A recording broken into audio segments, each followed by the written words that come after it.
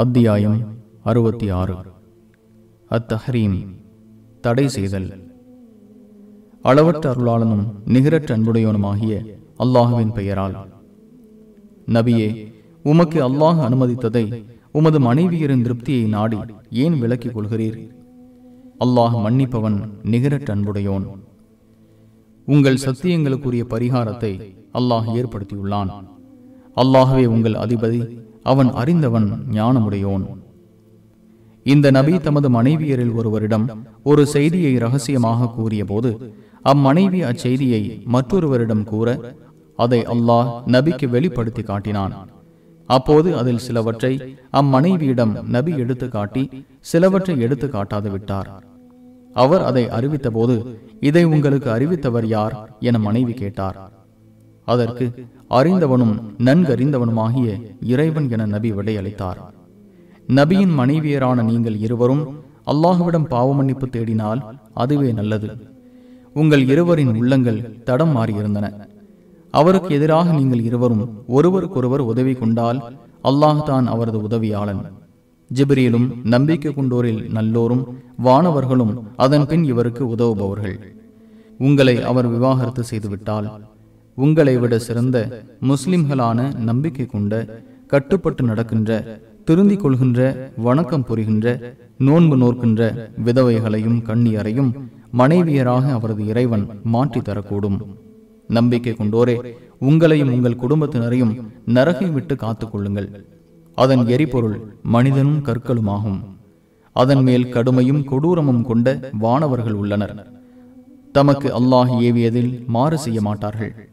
கட்டளையிடப்பட்டதை செய்வார்கள். ஏக இறைவனை மறுப்பவர்களே இன்று சமாளிக்காதீர்கள். நீங்கள் செய்து கொண்டிருந்ததற்குத்தான் கூலி கொடுக்கப்படுவீர்கள் என கூறப்படும். நம்பிக்கை கொண்டோரே அல்லாஹுவிடம் களப்பற்ற முறையில் பாவ மன்னிப்பு தேடுங்கள். உங்கள் இறைவன் உங்கள் தீமைகளை அழித்துவிடக்கூடும். உங்களை சொர்க்கச் சோலைகளில் நுழைய செய்வான். அவற்றின் கீழ்ப்பகுதியில் ஆறுகள் ஓடும். இந்த நபியையும் அவருடன் உள்ள நம்பிக்கை கொண்டோரையும் அல்லாஹ் இழிவுபடுத்தாத நாளில் அவர்களது ஒளி அவர்கள் முன்னேயும் வலப்புறமும் விரைந்து செல்லும். எங்கள் இறைவா எங்கள் ஒளியை எங்களுக்கு முழுமையாக்குவாயாக. எங்களை மன்னிப்பாயாக. நீ ஒவ்வொரு பொருளின் மீதும் ஆற்றல் உடையவன் என்று கூறுவர். நபியே ஏக இறைவனை மறுப்போருடனும் நயவஞ்சகர்களுடனும் போரிடுவீராக. அவர்கள் விஷயத்தில் கடுமை காட்டுவீராக. அவர்களின் புகலிடம் நரகம். அது கெட்ட புகலிடம். நூஹுடைய மனைவியையும் லூத்துடைய மனைவியையும் தன்னை மறுப்போருக்கு அல்லாஹ் முன்னுதாரணமாக காட்டுகின்றான். அவ்விருவரும் நமது இரு நல்லடியார்களின் மனைவியராக இருந்தனர். அவ்விரு பெண்களும் அவ்விருவருக்கும் துரோகம் செய்தனர். எனவே அவ்விருவரையும் அல்லாஹ்விடமிருந்து அவர்கள் சிறிதளவும் காப்பாற்றவில்லை. இருவரும் நரகில் நுழைவோருடன் சேர்ந்து நுழையுங்கள் என்று கூறப்பட்டது. என் இறைவா சொர்க்கத்தில் உன்னிடம் எனக்கு ஒரு வீட்டை எழுப்புவாயாக. பிறவுனிடமிருந்தும் அவனது சித்திரவதையிலிருந்தும் என்னை காப்பாயாக. அநீதி இழைத்த கூட்டத்திலிருந்தும் என்னை காப்பாயாக என்று பிறவுனின் மனைவி கூறியதால் அவரை நம்பிக்கை கொண்டோருக்கு அல்லாஹ் முன்னுதாரணமாக கூறுகின்றான்.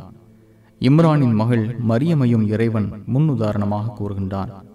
அவர் தமது கற்பை காத்து கொண்டார். அவரிடம் நமது உயிரை ஊதினோம். அவர் தமது இறைவனின் வார்த்தைகளையும் அவனது வேதங்களையும் உண்மைப்படுத்தினார். அவர் கட்டுப்பட்டு நடப்பவராகவும் இருந்தார்.